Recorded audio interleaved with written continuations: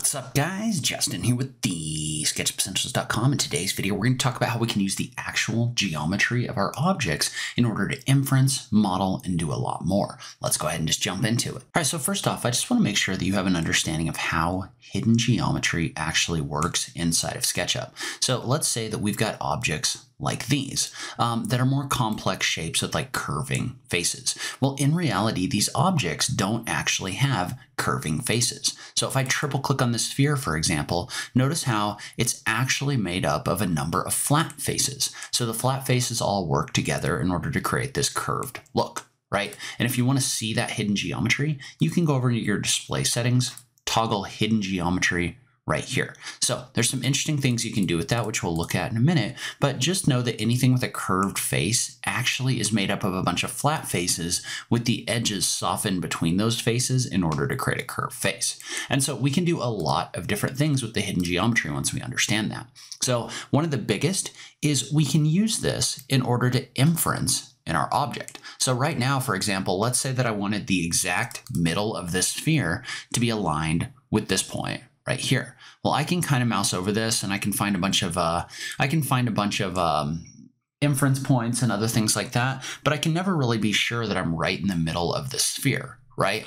However, if we triple click on this object right here, notice how that's going to allow us to see that hidden geometry. Well, now that we can see the hidden geometry, I can look at this and see where the center of my sphere is. So I can tell that the center line of the sphere is right here. Well, what that means is that means I can use the move tool to find a point that's aligned with that center point because the inferencing is actually locking to these points in here. And then I can click and I can move this up like this. So I can use this to perfectly align the center point of this object. And so I could also right click on this object, find the center, and then I could triple click in here in order to find the middle point of this object and place it on that central point very easily, just like this. So you can use that hidden geometry to quickly inference and find different things having to do with your objects.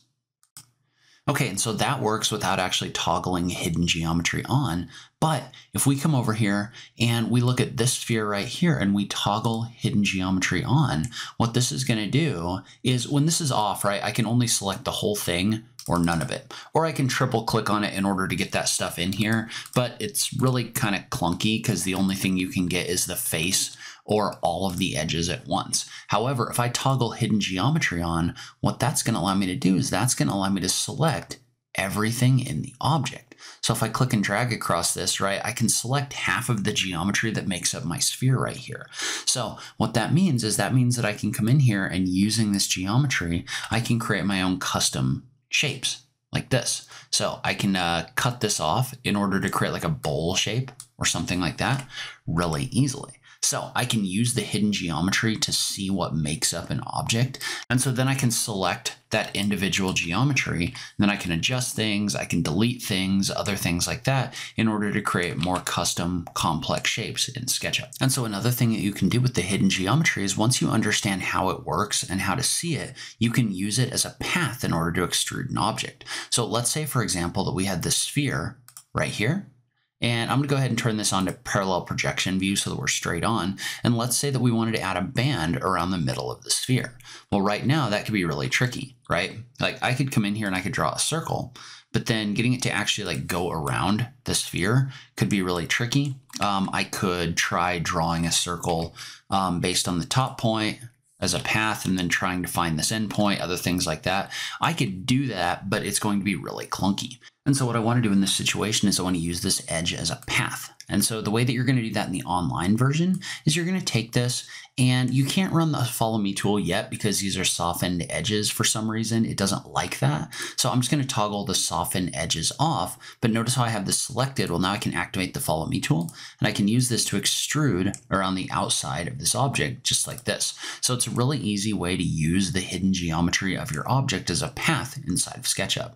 You can also, if we look at this object right here, for example, you can use this hidden geometry as inference points to create your own paths. So if I was to come in here and draw edges like this, notice how I can use this to create this kind of like spiraling shape. Okay, so then I can just come in here and I can just draw a circle right here. And if this fills in, just make sure you have hidden geometry turned on and just toggle it off. And so what we can do is we can use this path as, as an extrusion path in order to create like a pipe that kind of spirals down in here. Now, one thing to note about this is this is currently kind of split by this top face, and I think it's going to be split either way. So what I'm going to do is I'm just going to take that whole thing. So I'm just going to take the path, and I'm just going to use the move tool in copy mode and create a copy, copy off to the side like this. That way I can just select the path, use the follow me tool, and extrude it just like this. Then I could make it a component and move it back. And then I could use the rotate tool in copy mode and create an array like this. So you can use this in order to create shapes that kind of follow along paths like this by using the hidden geometry to dictate where your paths go. All right, so another cool thing about using hidden geometry is it gives you different faces that you can work with to create different things. So like for example, let's say that I wanted to create like a simple tire or something like that. I could come in here and draw across these faces right, to split everything and then start extruding things out. Um, you can definitely do that, but you've already got some of that geometry kind of ready made inside here, right? So if you go in and turn on your hidden geometry, for example, um, first off, notice how I can't push pull anything in here right now because I can't find any of the individual faces. But if we toggle that hidden geometry on, and then I push pull this out, and we'll say we'll push pull it out maybe by like two inches. Um, the scale's not really great in here, but notice how I can push pull these two objects really quick. And then I can draw lines across here in order to add faces. So I can use this to create like a little tread piece that goes in here. Well then, I take that tread piece, we're gonna select it, and I may want to go ahead and right click in here and find a center point first. But we're going to go ahead and select that tread piece and then use the rotate tool in copy mode in order to copy this geometry. And then I'm going to type in times and maybe like 12 or something like that, just like this. And so now what we've got is we've got this half tire shape in here with tread on the outside of it. Well, then we can take this tire We'd use the move tool in copy mode and we could mirror it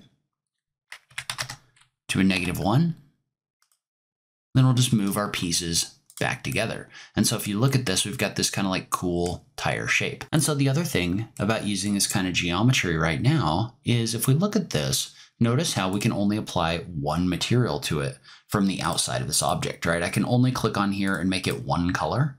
However, However, I'm going to go ahead and undo that and I'm going to turn my hidden geometry on. Well, once we toggle our hidden geometry on, we can actually paint different parts of an object by selecting them. So for example, let's say that I wanted to add a stripe right here and a stripe right here. Well, with hidden geometry on, I can just select that geometry and then apply a material to those stripes. So let's say I wanted these interior stripes to be a different color. I could just select them and just apply a different material like this. So what this does is this allows us a lot more control over where materials go on our objects um, just by using that hidden geometry. So notice how I'm not having to like unsoften anything or anything like that. It just literally lets me come in here and apply materials to those individual faces. Then if I toggle my hidden geometry off, you can still see and select the whole thing, but those materials are applied to different individual faces.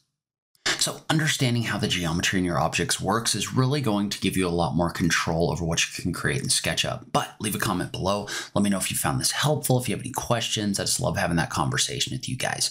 As always, thank you so much for taking the time to watch this, and I'll catch you in the next video. Thanks, guys.